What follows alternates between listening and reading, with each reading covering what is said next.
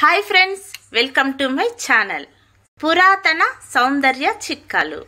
శరీర వర్ణం ప్రకాశవంతంగా ఉండేందుకు కాంతివంతంగా ఉండేందుకు ఎటువంటి మచ్చలు ముటిమలు గుంటలు లేకుండా ఉండేందుకు కొన్ని గృహ చిట్కాలు తెలుసుకుందాం. ఇవాల్టి మన టాపిక్ పూలతో అందం.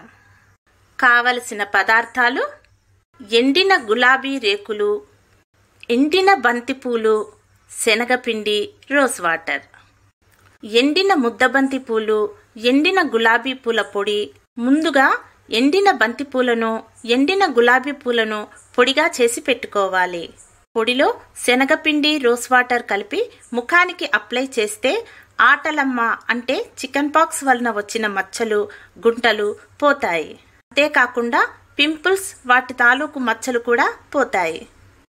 చర్మం అందంగా తయారవుతుంది.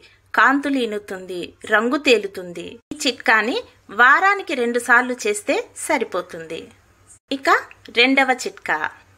గులాబీ పూల రసం ఒక చెంచా. తేనె అర చెంచా. శనగపిండి రెండు చెంచాలు. రెండు చుక్కల నిమ్మరసం. వీటన్నిటినీ కలిపి ఫేస్ ప్యాక్ లాగా వేసుకుంటే చర్మం బాగా కాంతివంతంగా ఉంటుంది. చర్మం గులాబీ రేకులంతా మృదువుగా తయారవుతుంది. చాలా అద్భుతమైన కాంతివంతమైన రంగుతో మీ చర్మం మెరుస్తూ ఉంటుంది. ఇక మూడవ చిట్కా. దేశవాళీ గులాబీ పూల రసంలో తేనె కలిపి ముఖానికి అప్లై చేసి ఆరిన తరువాత గోరువెచ్చని నీటితో కడిగేస్తూ ఉంటే చర్మం తేటగా మృదువుగా అందంగా మారుతుంది. చిట్కాను వారానికి నాలుగు రోజులు చేస్తే మీ ముఖంలో వచ్చే మార్పు మీరు చూసి ఆశ్చర్యపోతారు. అంత అద్భుతంగా ఉంటుంది ఈ చిట్కా.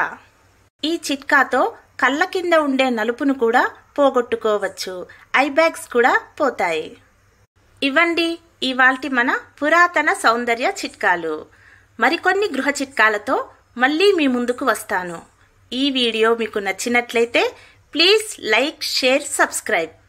అంతవరకు సెలవు. నమస్తే.